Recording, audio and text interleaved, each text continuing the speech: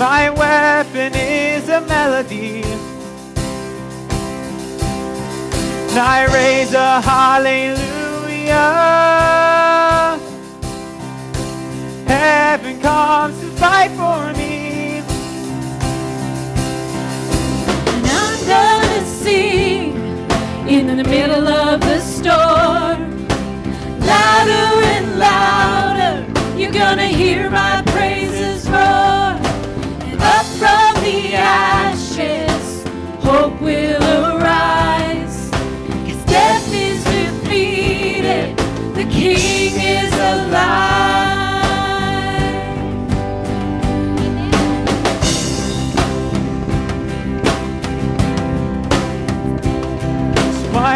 Hallelujah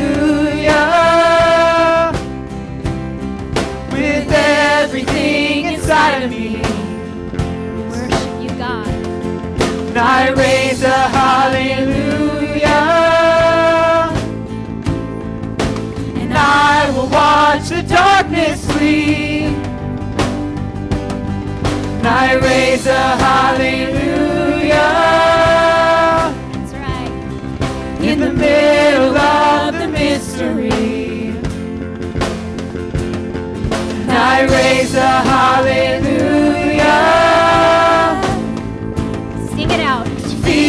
Lost your hold on me. Amen. And I'm gonna sing in the middle of the storm. Louder and louder, you're gonna hear my praises roar. And up from the ashes, hope will arise. Death is defeated, the King is alive. Gonna sing. Sing in the middle of the storm.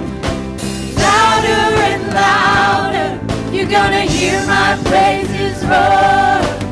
Up from the ashes, hope will arise. Death is defeated, the King is alive.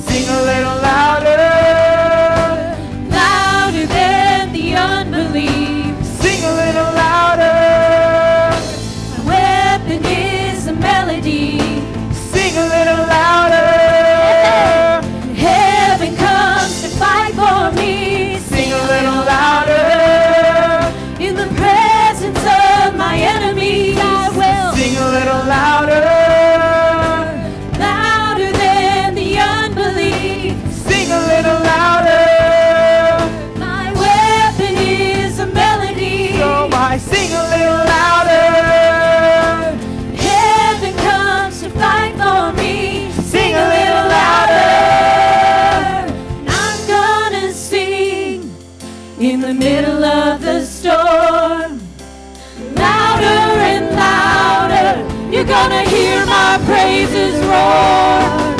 Up from the ashes, hope will arise. Death is defeated, the King is alive. And I'm gonna sing in the middle of the storm.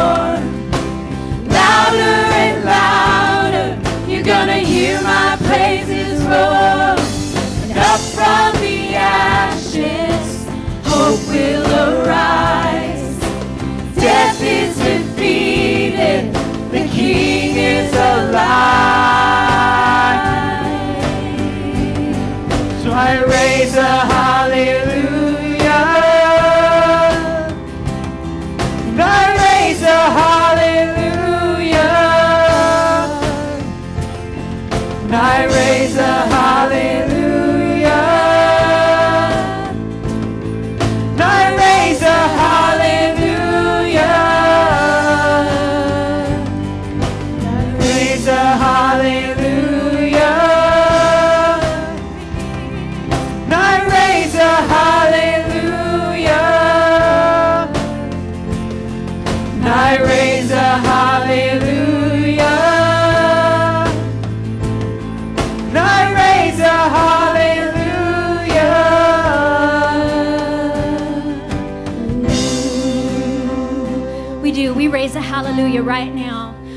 raise our hands to you, living God. We raise our voice to you, King of Kings. We give you our hearts. We give you our life right now because you are worthy. You're worth it all. You're worth it all. You are the waymaker. Mình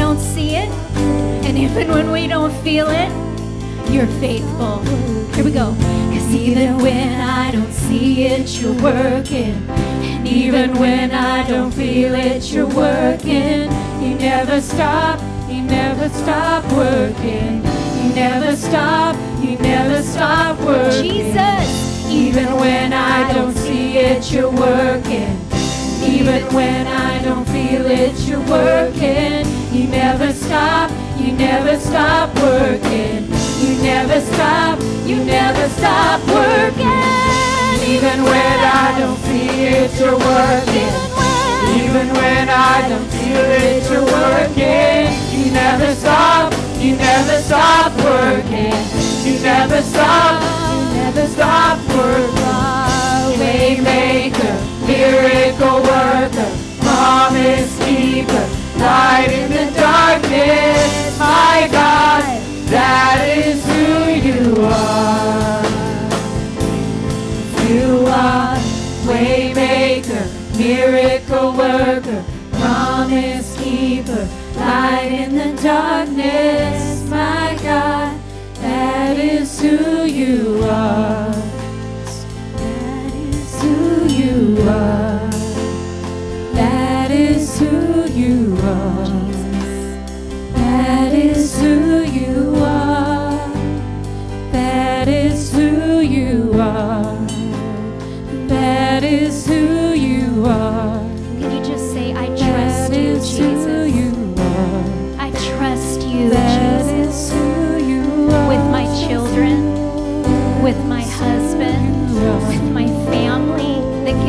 Trouble.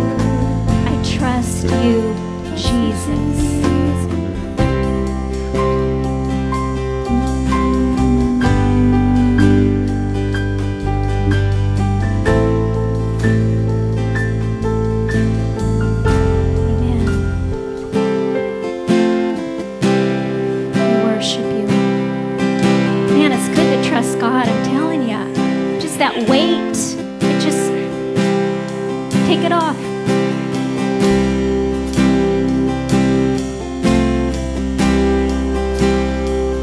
As I choose this day to be grateful, Lord.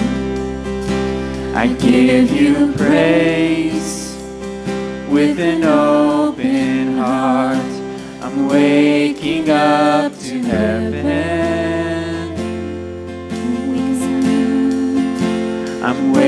Waking up to you. I'm waking up to heaven. I'm waking up to you.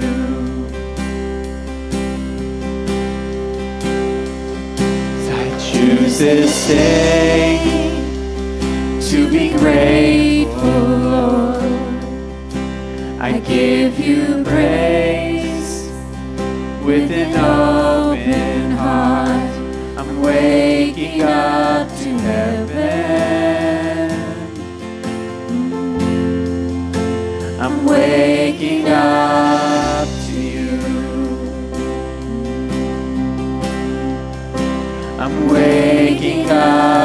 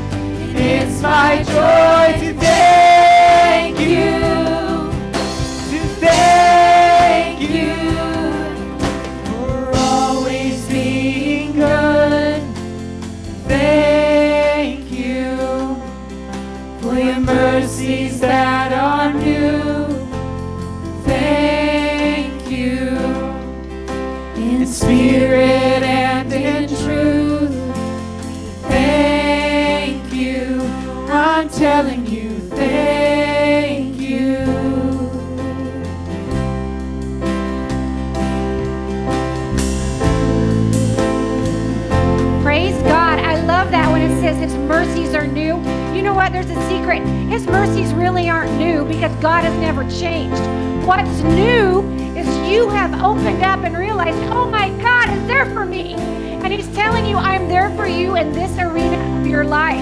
And so the newness of His mercy is something you have maybe never walked in. Maybe today you're understanding, you know what? Even though I blow it, God is there for me. Even though yesterday I messed up, God is there for me. Even though I was unloving, God is there for me. Even though there is sickness and disease trying to attack my body, mercy is present for me. Right now, this morning, just close your eyes for a moment. Father, I thank you for the illumination of your word. That your spirit, you said that he's our teacher this morning. He is giving us truth that sets each one of us free. As we get ready to pray this morning, I pray that each one of us, and I include myself, Savior, God, that you show me the newness of your mercies.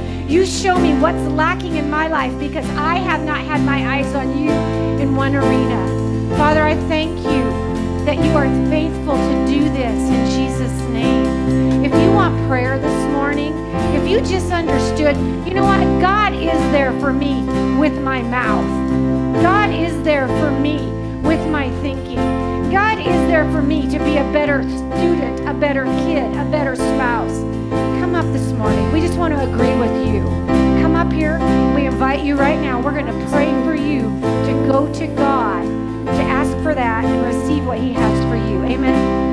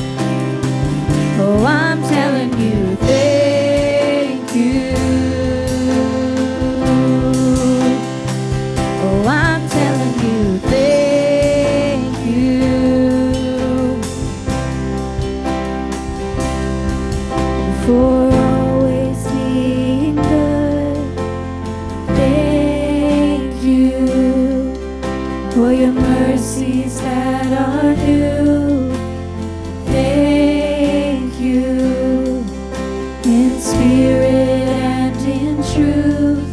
We thank you. I'm telling you, thank you.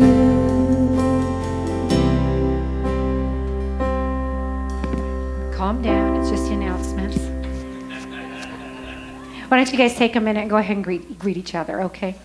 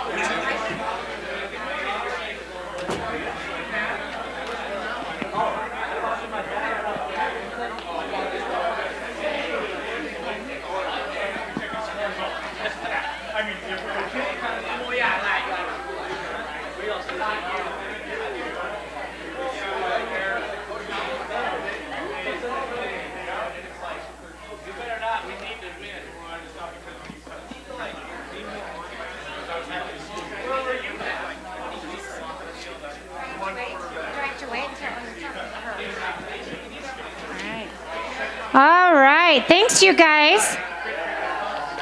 Good morning. All right, so we just got some announcements. If you need to take notes, take notes. But we do have Meet for Men tomorrow night at Pastor Steve's house. And if that's changed, he'll have to tell you personally. All right? We also have Chick Chat this Thursday. Or this Thursday, we've moved it to six o'clock. It's a Bible study at Dina Hawk's house. Dina Hawks, can you raise your hand real high? Uh, that's a women's Bible study. You are invited to join us. It's going to be phenomenal this week. Young adults, we're going to meet next Sunday following church. Can we go to that same restaurant again? That was awesome. Okay, uh, she knows. All right, we're not supposed to make small talk conversation right now. Gresham Marrieds Group, you guys are going to meet on the 23rd of November at the Houghton's house. Are there Houghtons in the house? All right, thank you. All right, good job. And they have childcare provided. But if your kid is like 17, please don't do that, all right? We do understand 17 year olds do need childcare, all right? I'm just saying, my 17 year old said, Do you know what? Once we left him at home, we went to a, a Wendy and Casey Treats retreat. It was in a February thing. And there was, a, it was the end of February. It was, almost, it was March, beginning of March. And they had a freak snowstorm here, right? When does it snow in March? Well, it snowed when we were there. And, and the child care provider at our house, okay, and my boys are 17, okay? The child care provider is on the phone screaming, We need you to come home. And all we hear in the background is thud because they're throwing uh, snowballs at the window, the beautiful glass window at the front. And, and one of them's going, Dakota's throwing snowballs at the window, mom. And we're like, Seriously? So, anyway. So 17 year olds, but Houghtons, you're not providing, I didn't say which son, did I? Uh, Houghtons are not providing childcare for 17 year olds. Okay? But you guys can talk to them about that all right so anyway the Beavercreek marrieds group we're going to meet on the 6th of december and we have started a fabulous video series okay uh, the Beveres are putting it out and it's amazing this is going to be part two don't worry if you've missed part one. Uh, we can go ahead and let you watch that also, but it's also going to be a holiday event. So come and bring yummy food. Okay, say yummy. All right, and so I will be the judge of that. All right, and we're going to have some party games too, but it's also going to be a great time to grow your marriage. All right, uh, Real Talk is going to be on Facebook tonight at 6 o'clock. Minutes for Men is Saturday at 10 o'clock. Say, ladies in the house. Okay, Dion can't be the one that says it. That sounds weird. Okay. Okay, women in the house, we are having a Saturday, December 14th event. Did I say that right? December 14th event, Flannels and Frost, and it's going to be our, we're going to, have a competition. How many of you girls love to cook? All right, so it's on, all right? So it's against me, against, uh, not Alien, Haley. Okay, you guys, I'm against you guys, all right? All right, but we're going to go ahead and we're going to bake, bake our favorite Christmas goodies, and there's going to be a prize. Say a prize. And I buy good prizes. I will want to win the prize that I buy, and I will try to get the prize that I buy. So there's going to be that, and there's going to be hot cocoa, and we're going to have some fun games with that. So, gals, you guys are invited for that. Amen? Coming up, sweetie. I don't have that. It's not on my list, sorry. That's okay. So today, how many know tomorrow is Veterans Day? They understand that? Okay. Well, we have quite a few veterans actually in the house right now. I'm going to honor them after, but we're going to show a video right now. So if we can get the lights, Phil, and um, so here we go.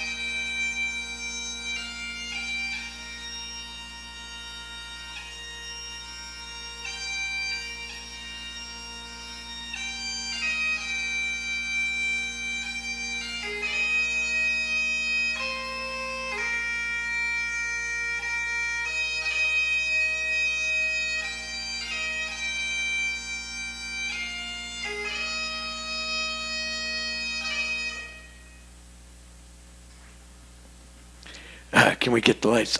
Would our veterans please stand? We want to honor these guys right now, all you veterans.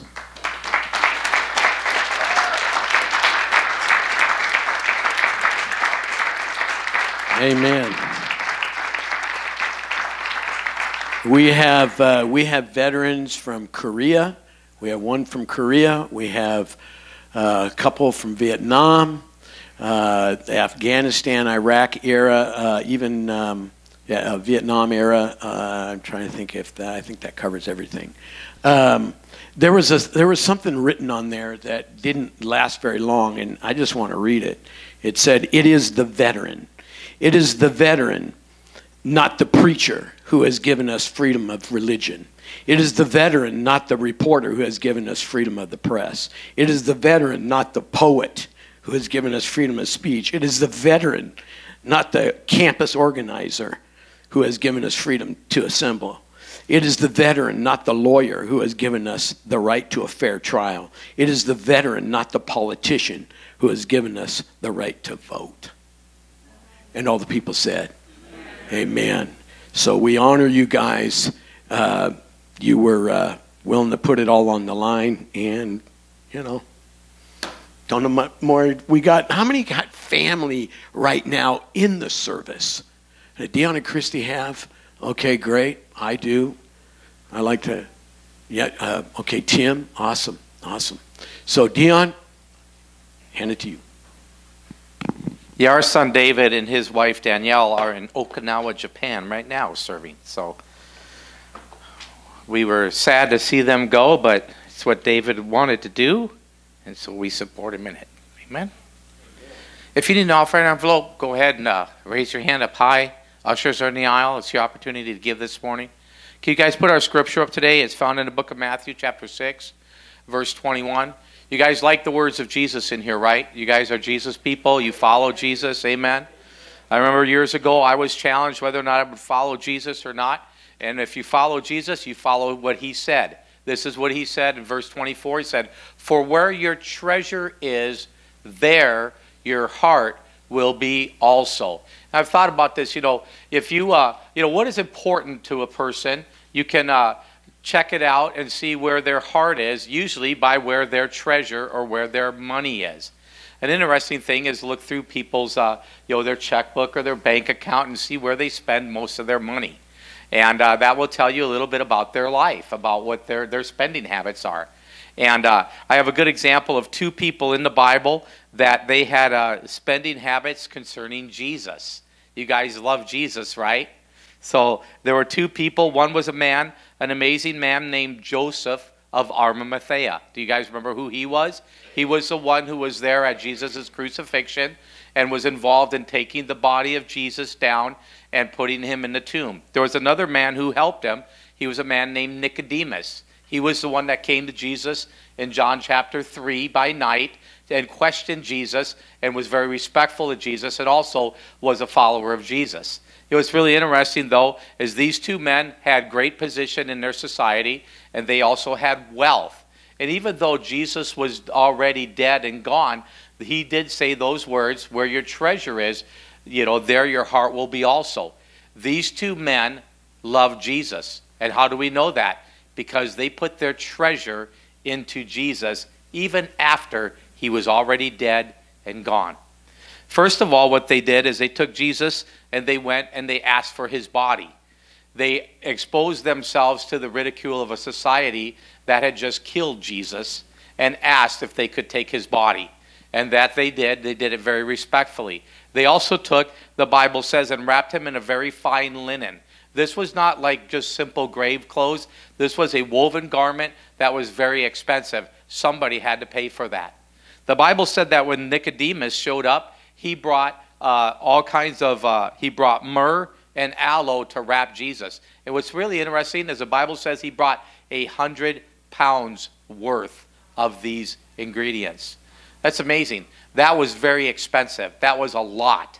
And so they took Jesus down and they wrapped him in this garment and then they applied these things to his body. The next thing they said that the Bible says, is they took him to a rich man's tomb. This was probably Nicodemus's or Joseph's very own tomb that they had bought and purchased, and it was hewed out of a rock. That means they paid somebody to go in there and dig a cave out of the size of a rock, out of the side of a rock. I mean, it, you know, it's really interesting. You start thinking about these things. You know, what I don't like in our society in America is they talk about everything being free. You know what? There is nothing free. Okay? If it's free to you, it's because somebody else paid for it and gifted it to you. It wasn't free. No, somebody paid for it. Maybe it was free to you, but somebody worked and somebody purchased and then somebody gave.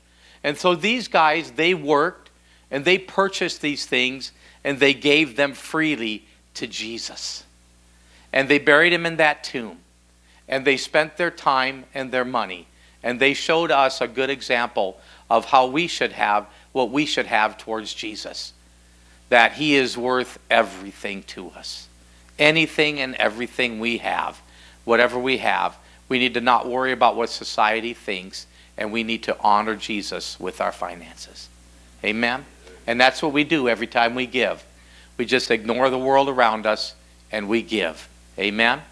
Father God, as we give today, we thank you for the goodness of your grace, that you have blessed us, that we are a wealthy and rich people, and we have the ability to give, Father God. And as we give today, we give honoring Jesus, we give worshiping him. And we don't have a dead Savior, we have a risen one. For he not only stayed in that grave for just a short time, he rose again for us, Father God. And because of that, we love him and we give today in Jesus' name. Amen and amen. Go ahead, ushers, take up the offering.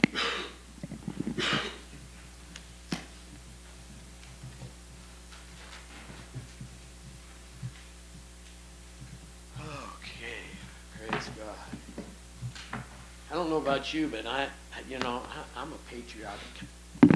I don't know about you, but I'm a patriotic kind of guy. I get kind of emotional about this country. I think it's the greatest place in the world. Amen. I don't know if you've never. I don't how many. How many have never been out of the United States? Never been out of the United States. Raise your hands high. Raise them high. All these teenagers, yes, teenagers, and that's okay. Uh, uh, you know, I, I, tell you what. One of the one of the one of the most uh, uh impacting things I had on my life was leaving the United States and only going uh, literally not even 100 miles outside of our border. And I took a bunch of teenagers, and the Dodges were with me, and we went and we went down to Tijuana, and we took 30 teenagers. I don't know what in the world we were thinking. It, it, it, it wasn't, and then uh, it, it was a, quite an experience. But everybody that we had them in these vans and everybody was loud and you know it was you know how teenagers are. It's, it's just when it's loud it's wonderful. It's loud is so good. And so we're just having a wonderful time and we get across the border and then we start now this is when you could still really pretty much the wall was was I mean there was I mean it was there, but there were holes underneath it. I mean you get over it, it no problem. And as we get along, we start going alongside the wall, and there's hundreds and hundreds and hundreds of people waiting alongside the wall, and uh, it's just starting to get dark. And when, but when we first came into the border, you come right into downtown Tijuana, and then you start coming through, and they started seeing, they could see up on the hills and everything, and it was just shacks and, uh, you know, just abject poverty. And all of a sudden, from a loud bunch of teenagers and everything, everybody was just quiet. They couldn't believe what they were seeing. And then we drove all that way and seeing all these people wanting to go here, the United States of America, the land of opportunity. You know, I watched this goofy movie last night with Annie, you know, Kindergarten Cop, you know. Got, you know, funny, funny, funny movie. And I'm sitting there watching it and I go, look at that. Arnold Schwarzenegger, born in Austria, becomes a bodybuilder and then the governor of California? You tell me where else that could possibly happen but in the United States of America. Do you know that actually a peanut farmer became the president of the United States? A peanut farmer. Yeah. His name was Jimmy Carter. It's one of the worst there ever was. But in any case, any case, he did become the president of, of the United States. Only in this country could these things happen. Amen. You can achieve anything that you want to in this country. It's truly an amazing place. It's an amazing place. And that's not what I'm preaching on. All right? We're preaching on communion, but I love the United States. And I, I guess I just was raised by such a patriotic, you know, my dad was a World War II vet. And, you know, you just, you just grow up and, and you just learn to really appreciate this place. Amen? Okay, let's, uh, let's, uh, let's pray before we have communion. Father, we just thank you for your word. We thank you for truth. We thank you for the body. We thank you for the blood. And Lord, this day, this time, we do this to remember. We must remember, as we remember the veterans, Lord, we remember you. We remember you this day. In Jesus' name. And everyone said, Amen. Communion is about remembering. It's about remembering the sacrifice. It's remembering the trials. The, the, the, you know, a sham of trials. You know, Jesus was wrongly accused. The, the witnesses couldn't even get their story straight. Horrible trials. He was ramrodded through, through to that cross. We were, it's about remembering the lashes. It's about remembering the crown of thorns. It's about remembering the nails in his hands and in his feet and the piercing in his side.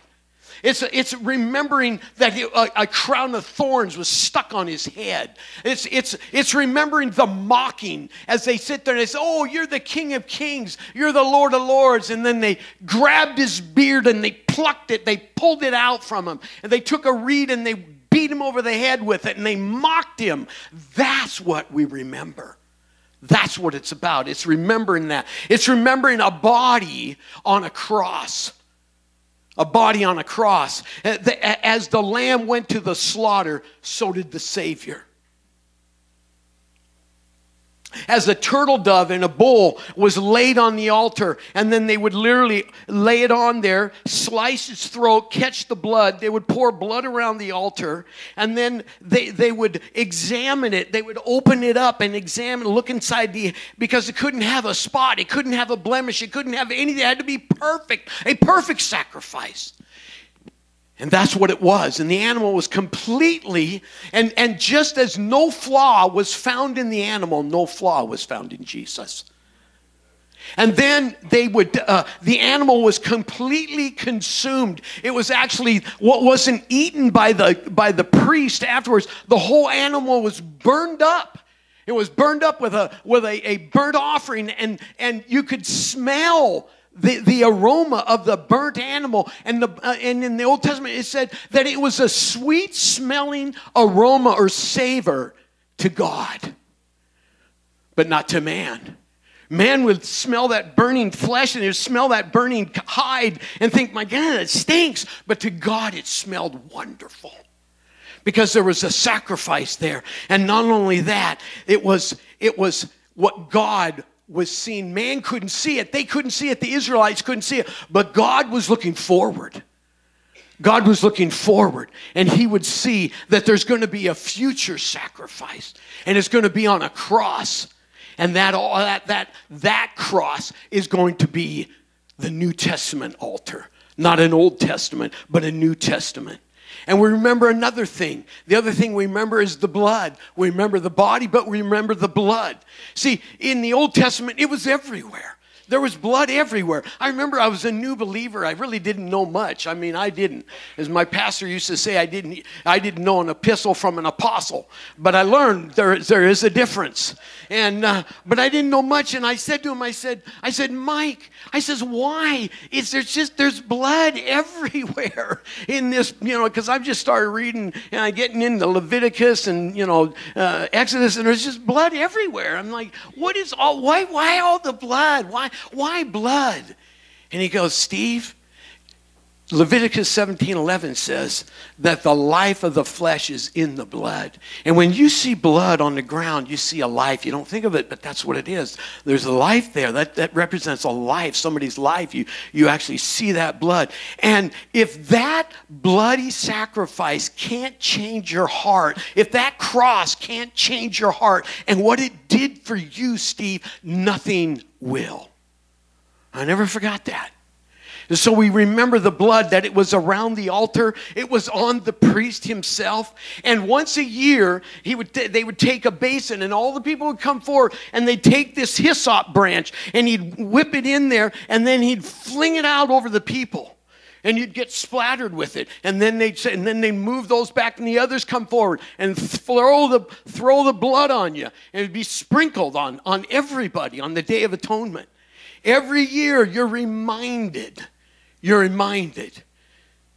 Everybody gets sprinkled. And you're reminded that animal on that altar was paid for my sin.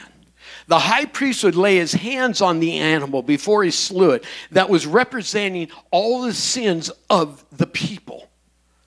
And then he would be slain and his blood and you, the, the israel would, would remember every year that was shed for me and if you were an Israelite and you were grateful and you were thankful, and then you would just you would worship God. You were a worshiper of Jehovah God. Amen. And you don't forget it when you go home. When you go home, you go home and what do you do? You you got blood on you. You maybe you have it on your face, maybe you got it on your arms, but you wash it off because and you remember, my God, that that lamb was slain for me. That turtle dove was slain for that bull was slain for me. For me. You never forget it. But there's one problem. You still have a guilty conscience. It only covered it. It didn't remove it. It couldn't remove it. That blood of that animal couldn't do what the blood of Jesus could do and does. Not only can do, but it does. In, in Hebrews, it says that the blood of Jesus removes the guilty conscience. I mean, I just I just think about where I was at one time, and I know of all the garbage I was involved in, all of that lifestyle I lived. And you know what? I don't feel uh, there's shame, sure. There's shame, there's remorse. I tell you, if I could live it all over again, I wish I got saved at about 13 or 12, where I really understood what salvation would be. So that I didn't have to go through what I, not only, not so much what, what I went through, but what I put my parents through. I mean, I put my parents through hell on earth. It was horrible for them, me and my other brother, and it was all his fault because uh, he was the older brother. He was the older brother. But no, you, you, when when you came home, you were grateful. That Israelite was grateful. He says, "My God, God provided something for me." But you still you still don't have a clear conscience. But the blood of Jesus clears your conscience. It's a wonderful thing to know. I mean, that day I walked out of my brother's house, that night I walked out of my brother's house, I knew I was forgiven. I knew, I know not that I was just forgiven. I knew my, my conscience was clean. It was clean. And that was the blood of Jesus. And that, that, that Israelite was grateful. He was thankful. And he loved Jehovah God. He loved Jehovah Jireh because he provided for him. He loved the Lord his God. Amen? Why? Because he obviously, God has shown him that you can't pay for it. Somebody else is paying for it. This animal is paying for it. And then what's awesome is this is all shown to us. See, they had to have thought, this God that we know of through our scriptures that we have must really love us if he's willing to provide a sacrifice for us. He must love us. And then we go to the Apostle John, and he spells this out for the New Testament church. In 1 John 4 9 and 10.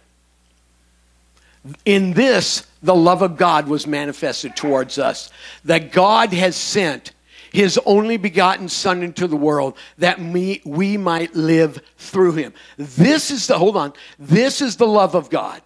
This is the love of God. This is how it's shown. The love of God is shown by this, by the cross, by, by first showing this, giving us the Son, and then it says in verse 10 there, in verse 9 and 10, uh, verse uh, 9. Yeah. In this, the love of God was shown, manifested, shown towards us, that God has sent his only begotten Son into the world, that we might live through him.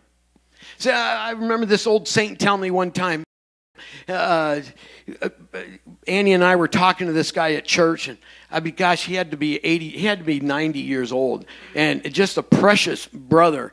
And I remember Annie asking him, um, if there's anything you could tell us, what would you say? What, what would you tell us? And, and, and he said, Become as dust and live through him and for him. And then the same guy, he said, I said, What's your favorite verse? And he said, John 14, 6. I am the way, the truth, and the life, and no man comes to the Father but through me.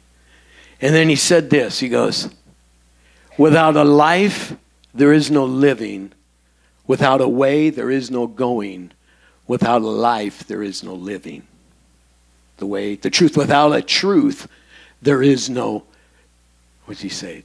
The way, the truth, the truth. Without the truth, there is no knowing. And I just, I just, it, so God sent his son that we could live through him. Amen? And then in verse 10, this is awesome. In this is love. Not that we loved God, but that he loved us and sent his son to be the propitiation for our sins. Big word just simply means appeasement. God was appeased through the sacrifice of his son. Judgment was not to come upon the world, but on his son. That's where it came.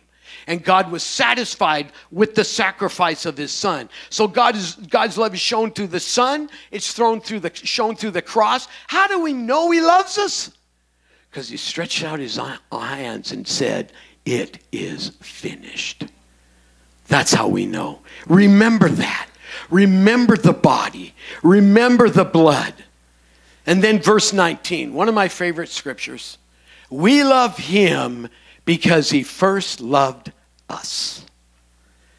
Dion loved uh, Dion. I he he uses this with his granddaughter because I used to say it when I see when I had my first child, Stephanie. I loved that girl before I ever saw her. I loved her in the womb. I talked to her. I played my guitar. I yelled at her, you know, just, you know, good stuff. You know, I was loud. I wanted her to get used to loud.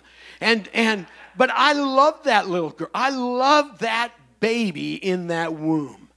And God, now, I, I, don't know, you don't have to have kids for this to happen, but God used that scripture to show me how it works. See, I then as she got older, I would say, Steffi, why do you love daddy? And she go, because he loved me first. I go, that's right. And God showed me, Steve, I loved you when you didn't love me. I loved you when you didn't love me. You know what? God loved me when I rejected him time and time and time again. God loved me when I blasphemed him. God loved me when I cursed him. God loved me when I didn't think I was worthy of His grace. He still loved me. God loved me when I used His Son's name as a, just a cuss word. He loved me through it all. He never gave up on me, and He'll never give up on me, and He'll never give up on you. Amen? He won't. You know what? He just would not let me go. He wouldn't let me go. He won't let you go. He won't. Why, Pastor? Because He loves you. He loves you. Listen, you're his creation. As, as Steffi and Lindsay are my creation, Annie and ours creation, you're, we are his creation. That's why he loves us so. We're his kids. We should know that. That's what God showed me. He says, Steve, you love that girl before she's, she's even outside the womb. I loved you in the darkness of your, of, of your womb of the world. And then you came out of it and you were born again and you saw the light. God is so good. Amen. And because of that, I love him. See, I mean, you can't, when, when you get a hold of, I was just thinking of that parable where the guy asked, you know, which one loved him more. He says, well, I guess the one that, that you know, that was forgiven more. He said, it doesn't matter how much you've been forgiven. We've all been forgiven the same thing. This death, the death penalty. Amen. We've all been forgiven. It's just how much one realizes it more than the other. See, I I realized as I grew in the Lord, I've gone, my God, what is He? This is just too amazing. It's not just I've been forgiven, I've been given righteousness. I've been given the gift of righteousness. I've been given, uh, uh, uh, you know, a, a, a, new mind, a new way to think. I've been given so much that I couldn't help it. Just say, I love you, Lord. I remember it's being at New Song, and they used to sing, you know, back in the 80s, they did just choruses, you know, you just did choruses. And, and it was just this song, I love you, Lord, and I lift my my voice.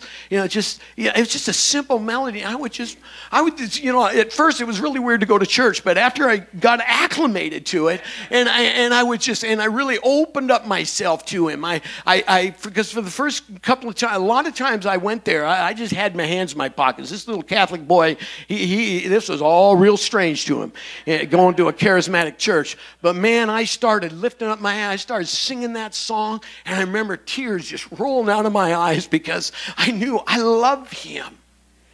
And I was, Annie and I were driving the other day, and we it was put on, she got us uh, go to iTunes, and we got on, on, um, an, uh, it's a second chapter of Acts, uh, old ch- second chapter of Acts, and an album on hymns. And, and uh, you know, Matthew Ward this is the, so it's a brother and, and two sisters. And, and uh, if you're not familiar, and, and Matthew Ward has this amazing voice, amazing voice.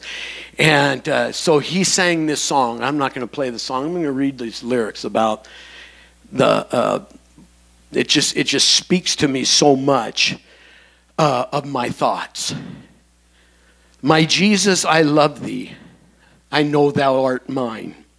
For thee all the follies of sin I resign. My gracious Redeemer, my Savior art thou. If ever I loved thee, thee, my Jesus, tis now.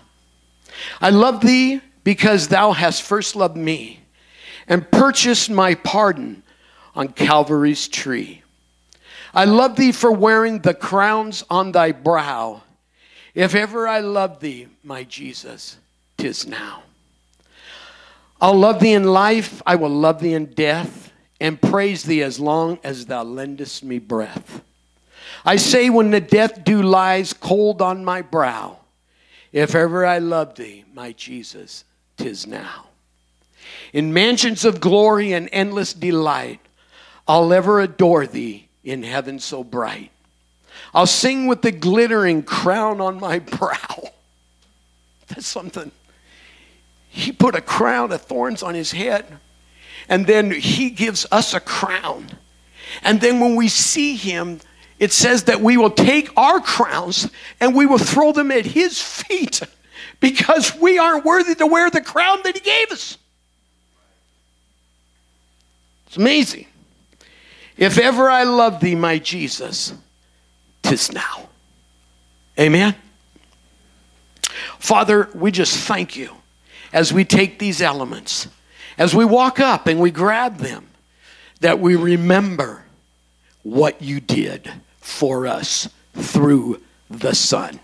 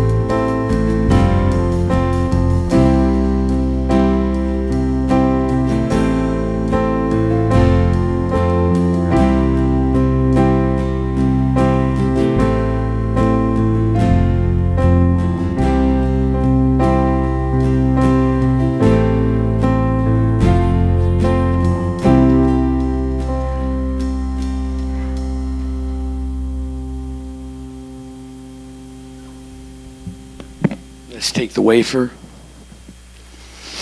Lord, as you were lifted up, we lift up this late wafer as a symbol of your body that was lifted up on that cross for us. You freely came, you weren't forced to. You actually said, Give me a body, and I will provide the ultimate sacrifice. And you did. And we are so grateful. We are so thankful. Thank you, Lord. Let's partake.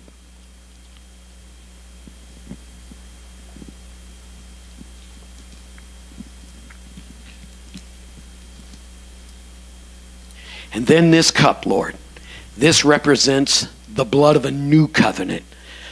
The, the blood that removes sin, doesn't cover it as the old covenant did. But this is a new covenant based on better and precious promises. And Lord, we thank you that in this, this representation of this blood, our sins are remitted. The blood washes us whiter than snow and everything is forgotten. All our sins are thrown into the sea of forgetfulness. And we thank you, Lord, for your shed blood. Thank you, Lord, for in this is life and life eternal. And we thank you, Lord, in Jesus' name. Amen. Let's partake.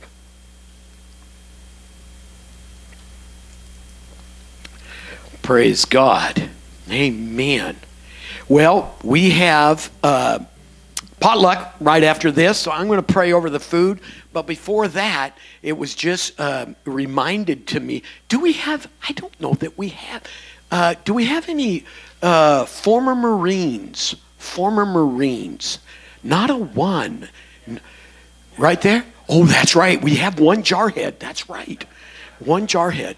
Uh, where, where is he in the back somewhere? Well, today is the birthday. Is that what it is, Eric? Of the Marine Corps.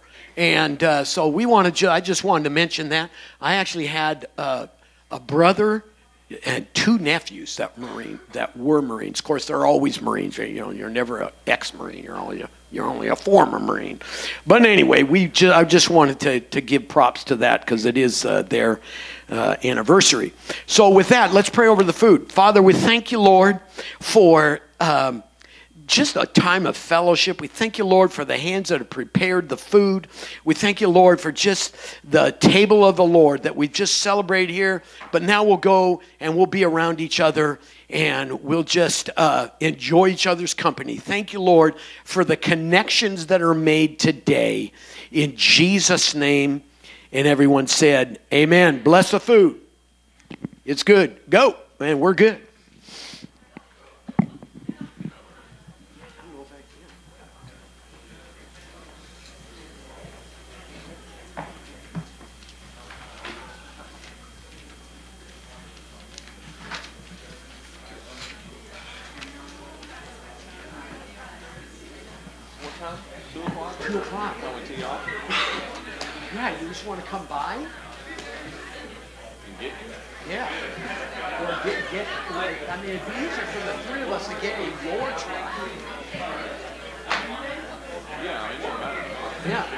So we probably want to leave like at 1:15. I don't even know where it's at. Where's it at? Well, it's over on 82nd and Tillamook. You know where, okay, Halsey, go, okay, the freeway on 82nd, go over 84, you come down a hill, and it's right to your left. There's a high school. You know where the high school is going up yeah, the hill? I, yeah. That's that's Madison High School. Yeah, on the left, And right? yes, and the, the the course is to all the way left left of that